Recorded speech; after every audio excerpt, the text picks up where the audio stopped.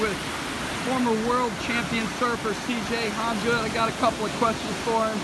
CJ, how do you like coming to St. Augustine? Well, Tori, thanks for having me at the Surf Station Surf School. And yeah, man, the kids are awesome. And why do I love coming here? See my friends, Gabe Kling, Justin Miller, Angela. See his family, his kids. Our kids get to hang out. And uh, yeah, beautiful day. Waves are fun. Cool. I don't really know much more I could ask for, right? there you go. Thank you.